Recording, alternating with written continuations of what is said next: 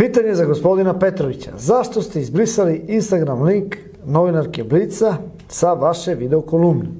Da li zbog toga jer su vam naredili da to uradite, jer su vas prethodno stavili na naslovnoj strani ili su oni sami obrisali njen profil? I jedan savet za savet, a dobro, posjećemo o savetu.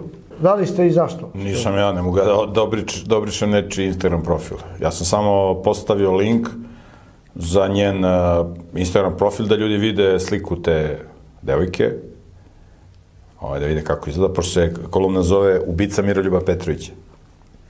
Pitanje jedna devojka za koju sam pozvao da se ljudi mole za nju, koja je inače duboko u okultizmu.